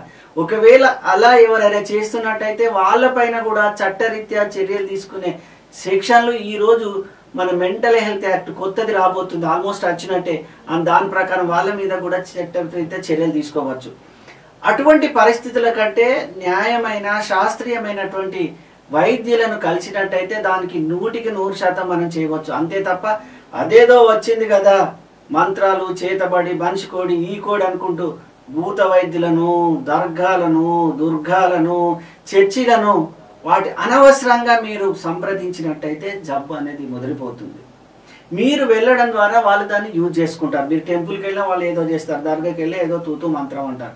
నిజంగా అట్లా మంత్రాలే ఉంటే ఈరోజు మంత్రాలు నిజంగా ఉంటే నేను కూడా మంత్రం చేసి ఎమ్మెల్యేనో ఎంపీనో చివరి ముఖ్యమంత్రి కావాలని నాకు కూడా ఉంటుంది కదా. మొత్తం వీళ్ళ మంత్రి వర్గాన్ని మంత్రం చేయవచ్చు కదా. ఇది చాలా తప్పు నిర్ణయం కొందరు దీన్ని ప్రచారం చేసి డబ్బు లాక్కోవడమే తప్ప ఇది అపనమ్మకము మూఢ విశ్వాసము అందం. కాబట్టి దయచేసి మంత్రాలు చేతబడి ద్వారా రోగాలు వస్తాయి అంటే అసలు నేనైతే కదా మొత్తం ఇండియా మొత్తం రోగాలు తీయచ్చు మంత్రాలు ఉంటాయి నేను ఎంబీబీఎస్ ఎందుకు చదవాలి? ఎండి ఎందుకు చదవాలి? మంత్రాలు కోర్సు మంత్రాలు చదివేవాళ్ళు కదా అందరు. దయచేసి ఇది తప్పుడు ఎందుకంటే మంత్రాలే పనిచేస్తే నేను కూడా ఎలక్షన్లను మంత్రం చేసి అన్ని టక్ టక్ టక్ ఓట్లు నేనే కొడితే నేను ఎమ్మెల్యే ఎంపీ ముఖ్యమంత్రి అయితే కదా మరి వాళ్ళందరూ లీడర్లు ఇంటింటికి తిరిగి దండాలు ఎందుకు పెడతారు? అంటే మంత్రాలు లేవు తంత్రాలు లేవు. మన మనిషి శాస్త్రీయత మీద ఆధారపడి ఉంది. వాటిని నమ్మకండి అనేది ఈ సందర్భంగా చెప్తున్నాను. సార్ డాక్టర్ కేశవ్ గారు మీరు చెప్పండి మరి ట్రీట్మెంట్ ఒకసారి మన మానసిక సమస్యకు మనం ట్రీట్మెంట్ చేసిన తర్వాత వ్యక్తి పూర్ణంగా ఆరోగ్యవం ఆ, మానసికంగా ఆరోగ్యవంతుడైందని మనం చెప్పుకోగలుగుతామా? మరి ట్రీట్మెంట్ ఒక్కటే సరిపోతుందా? కరెక్ట్ అమ్మా లేదు. చాలా మందికి ఫస్ట్లో వస్తారు. ట్రీట్మెంట్ తీసుకుంటారు నెల రోజులు. ఖచ్చితంగా తగ్గిపోతుంది నెల రెండు నెలల్లో. పేషెంట్ ఎందుకు తీసుకోడంటే నాకు అసలు మెంటలే లేదు సార్ వీళ్ళు తినదరగా పట్టుకొచ్చిర్రు. నాకు అసలే ఇన్సైట్ ఉంది మనం ముందే చెప్పాం కదా నేను చేస్తున్నదంతా కరెక్టే నాకు ఏ జబ్బు లేదు. మా వాళ్ళు తినదరగా పైసలు ఎక్కువై దావకాల పైసలు ఖర్చు పెడుతున్నారు సార్ అని అంటాడు. వాడు మంచిగైన తర్వాత వాడు అసలు మందులు వాడు. అక్కడే తల్లిదండ్రుల యొక్క కుటుంబం యొక్క పాత్ర చాలా వరకు ఉంటుంది. ఇది తొమ్మిది నుంచి పన్నెండు అంటే మామూలు ఒక సంవత్సరం వాడాల్సి ఉంటుంది అనుకున్నాం. ఆ డాక్టర్ చెప్పిన రోజులు డాక్టర్ చెప్పినంత డోసు ఖచ్చితంగా వాడితే మళ్ళీ జీవితంలో ఇంకోసారి రాదు. మీరు కేవలం ఒక నెల వాడారనుకోండి అప్పటి మందం అది కొద్దిగా తగ్గిపోయి మళ్ళీ మళ్ళీ పునరావృతమై ఆస్కారం నూటికి డెబ్బై శాతం ఉన్న విషయం మర్చిపోకూడదు. ఇప్పుడు ఏదో తగ్గింది కదా వాడింటలేడు సార్ వాడి చెప్తింటలేడు అని అనుకోకండి. ఏదో ఒక రకంగా మేనేజ్ చేసి బుదరకిచ్చైనా వానికి కోర్సు కనీసం తొమ్మిది నుంచి పన్నెండు నెలలు మొదటిసారి వస్తే వాడితే ఈ జబ్బు మళ్ళీ రాదు. అందుకే కేవలం ట్రీట్మెంట్ ఒక్కటే సరిపోదు. ఇక్కడ కౌన్సిలింగ్తో కుటుంబ యొక్క సభ్యుల యొక్క పాత్ర చాలా ఇంపార్టెంట్ ఆ మానసిక రోగికి ఇంట్లో ఎవరైతే చాలా సన్నిహితంగా ఉంటారో ఎవరైతే చాలా ఇష్టమో వాళ్ళ మాట వింటాడు. అతని ద్వారా మనం గోళీలు ఇప్పించడము ట్రీట్మెంట్ ఇప్పించడం అతని ద్వారా చెప్పిస్తే ఖచ్చితంగా ఆ మనిషి కూడా మారుతాడు. ఏదో ఒక రోజు ఇది కూడా ఒక మానసిక జబ్బే దీన్ని వాడడం ద్వారా నాకు చాలా సంతోషంగా ఉన్నాను ముందుకెళ్తున్నాను. నా రోజువారి పనులు చేసుకోగలుగుతున్నాను వ్యవసాయం చేస్తున్నాను ఉద్యోగం చేస్తున్నాను చదువుకుంటున్నాను. ఫస్ట్ క్లాస్ పాస్ అయ్యి చివరికి టీచరు లీడర్లు ఎమ్మెల్యేలు మంత్రులు మహా నటిలైనటువంటి మన దీపిక పథకం చూడండి. ఆమె కూడా డిప్రెషన్ అనే మానసిక వ్యాధితో బాధపడి ట్రీట్మెంట్ తీసుకొని ఈరోజు ప్రపంచంలో టాలీవుడ్ బాలీవుడ్లో నెంబర్ వన్ హీరోయిన్గా ఉంటుంది. అటువంటి వ్యక్తులను కూడా మనం రోల్ మోడల్ తీసుకోవాలి. ఆమెకు నాకు ఒక మానసిక జబ్బు డిప్రెషన్ ఉంది. నేను మాత్రలు వాడాను. మానసిక వైద్యుల ద్వారా నేను చాలా సంతోషంగా నయమైనని చెప్పుకున్నప్పుడు మనం అందరం కంగ్రాచులేషన్ చెప్పాము. హార్ట్ఫుల్గా వెల్కమ్ చేసాం సో నాకు జబ్బున్నా మీకు జబ్బుకున్నా నామోష్గా ఫీల్ కాకండి. కళ్ళకు క- మన నొప్పులకు తలకు మిగతా వాటికి ఎలా జబ్బులు వస్తాయి? జ్వరమైనా కీళ్ళ నొప్పులకు ఎలా వస్తాయి? ఈ మెదడు కూడా జబ్బులు వస్తాయి. వీటిని తలనొప్పిని మీరు మందులు వాడినప్పుడు తలలో మనసు గాయపడితే ఎందుకు మందులు వాడరు? ఇది అది ఒకటే కదా. మీకు కోట్లు ఉన్నా ఆస్తులు ఎంత ఉన్నా కూడా మనసు బాగా లేకపోతే అది తృప్తి లేని జీవితం. అందుకే మానసిక ఆనందమే మహానందం. అందుకే ఒక జబ్బు ఒక రోగికి అయినప్పుడు దయచేసి ఈ విశ్వ డిజిటల్ ద్వారా మీ అందరికి ఒకటే చెప్తున్నా. మానసిక రోగులను వేరు చేసి చూడకండి. వాళ్ళు మనలో కుటుంబ సభ్యులే. ఈరోజు ఏదో బాధ వచ్చింది భర్తతో బాధపడ్డాడు భార్యతో బాధపడ్డాడు తల్లిదండ్రులతో బాధపడ్డాడు ఉద్యోగంలో బాధపడ్డాడు చదువులో ఫెయిల్ అయ్యాడు ఇంకేదో గాయమైంది. మనసు గాయపడి జబ్బు గురయ్యాడు. వాడు మనలో ఒక సభ్యుడే మళ్ళీ రే- రో- ఈ రోజు కాకపోయినా రేపు మంచివాడు అవుతాడు మనలో కలుస్తాడు. వాడు బాధలో ఉన్నప్పుడు వానికి మరింత కుంగదు సరే నువ్వు మెంటల్ కానివిరా అని పదే పదే పదే మీరు అనడం ద్వారా వాని మానసిక స్థితి మరింత కుంగిపోయి వాడు మరింత మానసిక రోగిగా మారిపోతారు. అందుకే దయచేసి నెగటివ్ మాట్లాడడాన్ని తగ్గించుకోండి. జబ్బులు అనేది ఎవరికైనా రావచ్చు. ఎంత పెద్ద వాళ్ళకైనా రావచ్చు. పెద్ద పెద్ద అమెరికా ప్రెసిడెంట్లు కూడా డిప్రెషన్తో వచ్చిన వాళ్ళు ఉన్నారు. అటువంటి మానసిక రోగిని దూరంగా చేసి మెంటల్ అనుకుంటూ వాడు పిశాసి అనుకుంటూ వాడు అది పాగలగాడు అనుకుంటూ బాధ పెడితే అది ముదిరిపోతుంది. దయచేసి మీరు అన్యాయం చేయకండి. మనకి సపోర్ట్ చేయకపోయినా నెగటివ్గా మాత్రం ప్రోపగండ చేస్తే బా- మనిషిని మనం బదనం చేసి మనిషిని మరింత కృంగదీస్తే అది మహాపాతకం మహాఘోరం కూడా. చెప్పవచ్చు. డాక్టర్ కేశవులు గారు మూఢనమ్మకం కూడా ఒక మానసిక సమస్య లేదా మానసిక వ్యాధి అని అంటే మీరేమంటారు? అంటే అది కూడా ఒక జబ్బుగా మనం పరిగణించలేం. ఇంత శాస్త్రీయ పెరిగిన తర్వాత కూడా ఇక గోల్ వేస్తే తగ్గిపోతుంది. ఫర్ ఎగ్జాంపుల్ మీరు అందరికి తెలిసిన పారాసిటమాల్ ఉంది. అది వేసిన తర్వాత గోలు తగ్గిపోతుంది కదా. మరి నేను దేవునికి మొక్కుకున్నా తగ్గిపోతుంది నేను కొబ్బరికాయలు కొట్టినా తగ్గిపోతుంది అంటే వీళ్ళంతేందుకు? మీకు ఒక చిన్న ఉదాహరణ చెప్తా. అంటే నేను మతాన్ని కించపరచడం కాదు. పుట్ట గౌరవం అంటే ఇప్పుడు సాయిబాబా గారు ఉన్నారు పుట్టపర్తిలో. ఆ పుట్టపర్తి సాయిబాబా కూడా ఒక హాస్పిటల్ కట్టించిన విధానం మీరు చూడండి. ఎంతో మందికి వేలాది మంది లక్షలాది మందికి ఆపరేషన్ చేసి ఈరోజు అందరికీ ఒక దేవునితో సమానమైన వ్యక్తిగా నేను గుర్తిస్తాను. ఎందుకంటే అన్ని మంచి పనులు చేసినప్పుడు మనం మంచివానిగా గుర్తిస్తాం. అంటే చివరికి సాయిబాబా గారు కూడా ఒక హాస్పిటల్ కట్టించారంటే ఒక సైన్స్ అనేది. ఇప్పుడు మామూలుగా చర్చి వాళ్ళు కూడా కొందరు అందరు కాదు కొందరు అది చేస్తాం ఇది చేస్తామని అభూత కల్పన చేస్తారు. ఈ రోజు తొంభై తొమ్మిది శాతం పైగా ఈ మందులు కనిపెట్టింది క్రిస్టియన్ కమ్యూనిటీ వాళ్ళ. విషయం మర్చిపోవాలి వాళ్ళే ఇన్ని మందులు కనిపెట్టారు ఇన్ని ఏరోప్లేన్లు ఎక్కడెక్కడో చెప్పరాని అని కనిపెట్టారు కదా. కొందరు అమాయకులను బలి చేస్తున్నారు. దయచేసి అది ఏ కులమైనా ఏ మతమైనా ఏ ప్రాంతీయమైనా ప్రజల మూఢ విశ్వాసాలతోటి ప్రజల యొక్క అమాయకత్వాన్ని మీరు ఆసరగా చేసుకొని వారికి పైసలు గుంజుకొని జబ్బును ముద్రిస్తే మీరు నమ్మే దేవుడు ఖచ్చితంగా మిమ్మల్ని కూడా క్షమించడు. అది నేనైనా మీరైనా ఎవరు పాపం చేసినా మానసిక రోగులతో బాధ మానసిక రోగులను కానీ మానసికంగా బాధపడుతున్న వ్యక్తులను మోసం చేయడం అనేది మానవత విలువ కాదు. వాళ్ళకు వాస్తవాలు చెప్పండి. అనవసరంగా మనకి భయపెట్టించి మంత్రాలు వేసి షరీకులు చేసి ఇంకా బాధ పెడితే మన జీవితంలో మనకు కూడా ఒక రోజు నాకు నీకు ఎవరికైనా ఒక రోజు మనకు కూడా జబ్బులు వస్తాయి. మనం కూడా ఒక వయసులో చేసిన బాధలన్నీ గుర్తుకొస్తాయి. దయచేసి మానసిక రోగాన్ని ఒక గౌరవంగా చూడండి. పాప అయ్యో వీడు బాధపడుతున్నాడు అని సపోర్ట్ చేయండి తప్ప ఇదేదో దూరమైన జబ్బు ఆడు మెంటల్ కదా ఆడు లూజ్ అని అనకండి. అది కూడా పాపం. అందుకే ఈ మూఢ నమ్మకాలు మూఢ విశ్వాసం విశ్వాసాలు ఆచారాల వెంటబడుతూ మీ ఆరోగ్యాన్ని మనం పాడు చేసుకోకండి. ఒక విషయం కూడా చెప్తున్నాను. ఎంతో చదువుకున్నటువంటి మేధావులు అనే వాళ్ళు కూడా ఈరోజు మంత్రకాలు మూఢనమ్మకాల దగ్గర పోయి నా దగ్గరకు వస్తే ఏం సార్ మీరు ఇంత హెడ్ మాస్టర్ టీచర్గా పనిచేశారు సార్ ఇంట్లో వాళ్ళు ఇంట్లో లేదు సార్ నేను మంత్రకాల దగ్గర అది కూడా దులిపేసుకున్నా సార్ ఐదు వేలు రెండు వేలు ఇచ్చినా గొర్రె వచ్చినా మేక వచ్చినా ఇంకా పిచ్చి ఎక్కువైంది కానీ తగ్గలేదు. మొదటి రెండు రోజులు తగ్గిపోయింది సార్ అంటారు. ఎందుకంటే వాళ్ళకు విభూతి లాగిస్తారండి. ఆ విభూతిలో డైజిపామ్ కానీ ఆల్ఫ్రోజోలం పౌడర్ కలుపుతారు. అది కలిపిన తర్వాత నీళ్ళు తాగితే రెండు రోజులు ఖచ్చితంగా నిద్రపోతారు. నిద్రపోతే రోగం సగం తగ్గిపోతుంది. ఆ రెండు రోజులలో వాడుకో రిలాక్స్ అయ్యి మూడో రోజు నుంచి మళ్ళీ మొదలవుతుంది. అప్పుడు మన దగ్గరకు వస్తారు. అందుకే చదువుకున్న వాళ్ళకం చదువుకులేని వాళ్ళకంటే చదువుకున్న వాళ్ళు కూడా మూఢ నమ్మకాల వెంబడి మంత్రాల వెంబడి తాయతల వెంబడి వెన్- వెళుతున్నారంటే మన చదువు ఏం నేర్పింది ఏం జ్ఞానం నేర్పింది ఏం విజ్ఞానం నేర్పింది అనే విషయం మనం మర్చిపోకూడదు. అందుకే విశ్వ డిజిటల్ సిబ్బంది అందరికీ నేను ఎందుకు కృతజ్ఞత చెప్తున్నానంటే యాంకర్తో సైన్లో ఉన్న యాజమాన్యానికి సిబ్బందికి. ఇంత మంచి కార్యక్రమం మీ అందరికీ లక్షలాది మంది చూస్తున్నటువంటి విశ్వ ప్రేక్షకులకు ఈ మూఢ నమ్మకం ఇది. మానసిక జబ్బులకు కూడా మందులు ఉన్నాయి మీరు కరెక్ట్ టైంలో డాక్టర్ దగ్గరకు వస్తే నూటికి నూరు శాతం నయమవుతారు. అనవసరంగా వాళ్ళ వెంబడి వీళ్ళ వెంబడి పోయి పైసలు ఖర్చు చేసుకోకండి. జబ్బులు ముదుర్చుకోండి మంచిగా జీవించండి. అందరిలో ఒకరిగా మీరు జీవించాలి. ఇది కూడా మామూలు జబ్బే కరెక్ట్గా తగ్గిపోతుందని చెప్పే అవకాశం కల్పించినందుకు నిజంగా ఈ సందర్భంగా వీళ్ళందరికీ పేరు పేరున కృతజ్ఞతలు చెప్తున్నాను. డాక్టర్ కేశవులు గారు ఓ వ్యక్తికి మానసిక జబ్బు రాకుండా ఉండడానికి ఏమేం చేయాలి? ఖచ్చితం అమ్మా మీరు బాగా అడగలేదు. జబ్బులు వస్తున్నాయని మనకు తెలుసు. ఎలా వస్తున్నాయని కూడా ఈ రోజు తెలుసుకునే పరిస్థితిలో ఉన్నాయి. ఒత్తిడి అనేది సర్వసాధారణం. చిన్నపాటి ఒత్తిడి అనేది ఇంకా సర్వసాధారణం. ఒత్తిడి లేకుండా నాతో సహా ప్రపంచంలో ఎవరూ బతకలేని స్థితి. అంటే స్ట్రెస్ ఈజ్ ఇన్విటేబుల్. అంటే అనివార్యమైన అయిపోయింది. ఈ ప్రపంచంలో ఒత్తిడి అనేది అనివార్యము. తప్పించుకోవడం అసాధ్యం.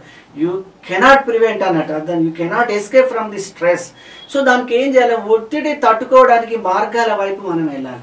మంచి మార్గాల వైపు వెళ్ళాలి. చెడు మార్గాల వైపు వెళ్ళాలి అని అన్నప్పుడు మంచి మార్గాల వైపు. అంటే నాకు ఒక ఇబ్బంది ఉంది. ఆ ఇబ్బందిని ఎలా నేను సమస్యను పరిష్కరించుకోవాలి? జిడ్డు కృష్ణమూర్తి గారు ఒకటి చెప్తారు చాలా మంది ఒత్తిడి గురై నాకు సమస్య ఉంది సార్ ఏం చేయలేకపోతున్నా. నూటికి తొంభై శాతం పైగా వాళ్ళ సమస్యను క్షుణ్ణంగా అర్థం చేసుకున్నట్లయితే ఆ ఆన్సర్ కూడా ఆ క్వశ్చన్ లోపనే ఉంటుంది. అంటే మీ సమస్యను మీరు క్షుణ్ణంగా అర్థం చేసుకున్నట్టయితే పరిష్కారం మీ క్వశ్చన్లోనే ఉంటుంది అంటాడు ఖచ్చితమే. మీరు చిన్న విషయం చూసుకొని చిన్న విషయాన్ని ఆలోచించి ఫెయిల్ అయినా కదా నా బతికేట్లాగా నేను వేస్ట్ అని ఆత్మహత్య చేసుకుంటున్నారు ఒక అబ్బాయి హీనంగా మోసం చేశాడు కానీ ఒక అమ్మాయి ఆత్మహత్య చేసుకుంటుంది. నాకు ఇంత అమ్మాయి ఎంట తిరిగాను లక్షలు ఖర్చు పెట్టాను అని అబ్బాయి ఆత్మహత్య చేసుకుంటున్నాడు. కానీ ఈ వయసులో మీరు కెరియర్ అనేది ముఖ్యం కానీ ఈ ప్రేమలు దోమలు అంటూ కూడా తిరగకండి. ఈ ఒత్తిడులు అనేది సర్వసాధారణ కాబట్టి ఈ ఒత్తిడుల వెంట కూడా మీరు బాధపడుతూ హత్యలని ఆత్మహత్యలను తిరగకండి సమస్య వచ్చింది అది ఎంతవరకు ఉంది? మీకు తెలియకపోయినా ఎందుకంటే మీ చిన్న వయసులో తెలియనప్పుడు మీకు తెలిసిన పెద్దవాళ్ళ ద్వారా కానీ కౌన్సిలర్ ద్వారా కానీ డాక్టర్ దగ్గరికి వెళ్తే ఆ సమస్యకు పరిష్కారం ఉంటుంది. ఈ ప్రపంచంలో పరిష్కారం లేని సమస్య లేనే లేదు. సమస్యలు నాకు వంద నాకు వంద సమస్యలు నేను వంద సార్లు ఏమైనా చేసుకున్నానా? చనిపోయాను? బతికే ఉన్నాను కదా.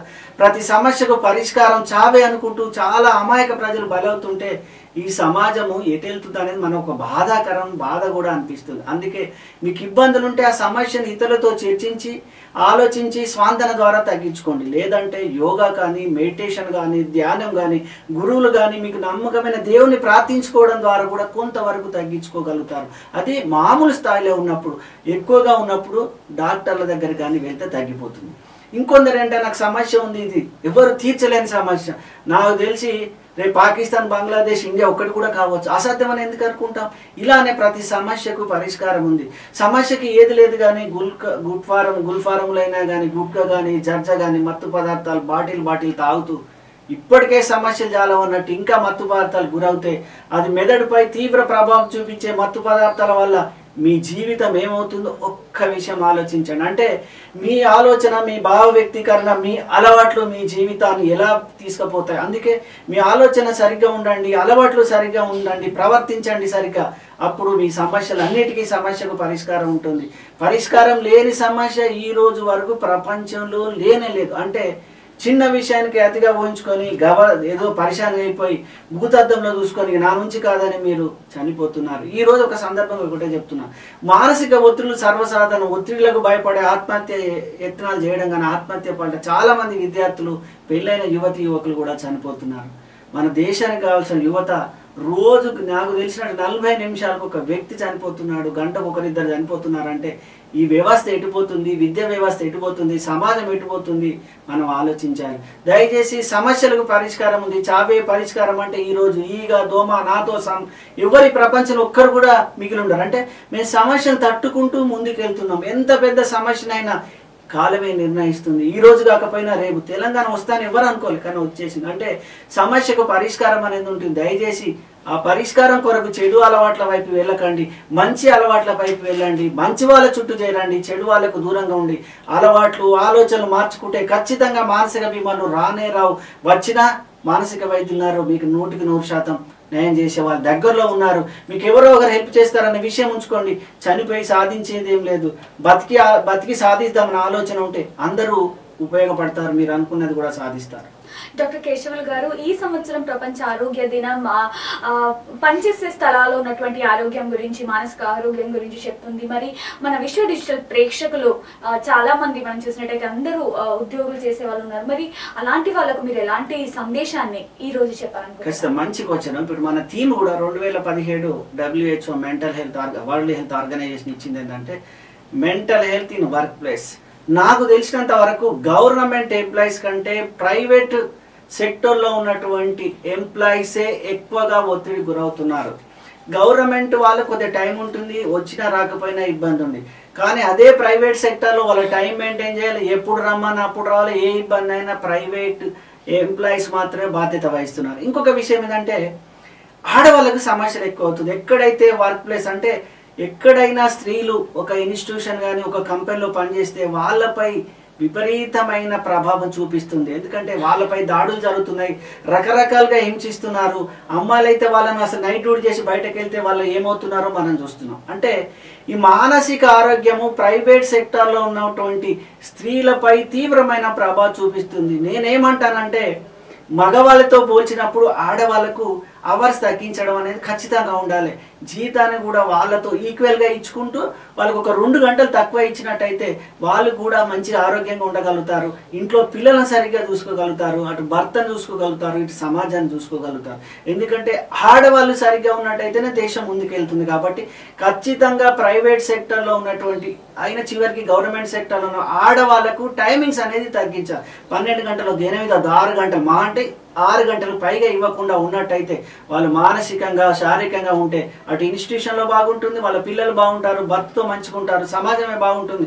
ఒక కుటుంబం బాగుందంటే సమాజం బాగున్నట్టే కాబట్టి ప్రైవేట్ స్థలాలలో ప్రైవేట్ కార్యాలయంలో ఉన్నటువంటి స్త్రీలకు ఖచ్చితంగా ప్రిఫరెన్స్ ఇవ్వాల్సిందే. ఇవ్వాలని కూడా నేను మనవి చేస్తున్నాను. సార్ ఈ రోజు చివరగా డాక్టర్ కేశవ్ గారు మీరు మానసిక వైద్య నిపుణులుగా మన విశ్వ డిజిటల్ ప్రేక్షకులకు చివరిగా ఇచ్చే సందేశం ఏంటి? లక్షలాది మంది చూస్తున్న విశ్వ డిజిటల్కు నేను ఒకే విన్నపం. ప్రేక్షకులు లక్షలాది మంది చూస్తున్నారు. చాలా ప్రోగ్రాంలు మీరు కూడా మాకు అవకాశం ఇచ్చారు.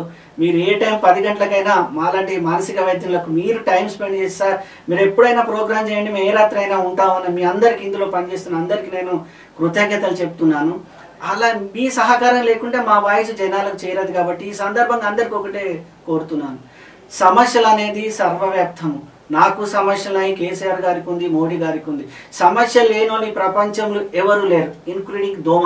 మనం దోమం కూడా మస్కిటో కాయల్స్ పెట్టి చంపేస్తున్నాం కదా భయపడుతున్నాయా? చనిపోతున్నాయి? అవి అవి చనిపోవట్లేదు. మనమే చంపేస్తున్నాం. సో మన సమస్యలకు మనం మనం చనిపోవడం అనేది చాలా తెలియదక్కుతాను ఒత్తిడిని అతిగా ఊహించుకోవడం అనేది ఇంకా మూర్ఖత్వం.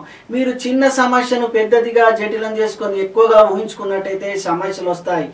ఈ సమస్యలు మెదడుపై తీవ్రం ప్రభావం చూపిస్తుంది. మీ ఆలోచనపై ప్రభావం చూస్తుంది మీ ఆరోగ్యంపై ప్రభావం చూస్తుంది మీ శరీరంపై ప్రభావం చూపిస్తుంది. మనసుపై ప్రభావం చూస్తుంది టోటల్గా మీ బాడీ మీ శరీరం మీద ప్రభావం చూపిస్తే అది మీ కుటుంబం మీద ప్రభావం చూపిస్తుంది. ఒక కుటుంబంలో ఒక వ్యక్తి మానసిక బీమారికి గురైతే ఆ ఇల్లు ప్రశాంతికి బదులు అశాంతికి అయిపోతుంది. ఆ కుటుంబం మొత్తం దివాలా తీస్తుంది. కుటుంబం మొత్తం ఇబ్బంది పడుతుంది. అందుకే మీరు ఒక కుటుంబంలో మానసిక రోగైనా అని ఇబ్బంది పెట్టకుండా ఆలోచన తగ్గించుకోండి టెన్షన్ ఫ్రీగా ఉండి ఒత్తిడి దూరం చేసుకోండి. సింపుల్ ఒకటే చెప్తాను.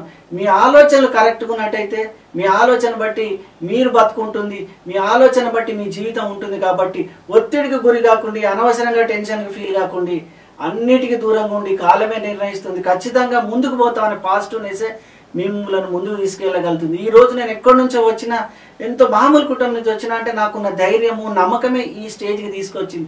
మీరు కూడా అత్యున్నత స్థాయికి రా రా వస్తారు. మామూలు ఛాయ్ అమ్ముకున్న వ్యక్తి ప్రధానమైనటువంటి ప్రధానమంత్రి అయిన ఈ భారతదేశంలో ప్రతి వాళ్ళు గొప్ప వాళ్ళు అవుతారు. కానీ టైం వస్తుంది. ఆ టైం కొరకు వెయిట్ చేయండి. అప్పుడు ఖచ్చితంగా మీరు అనుకున్న సాధిస్తారని మీ అందరికీ పేరు పేరున కృతజ్ఞతలు.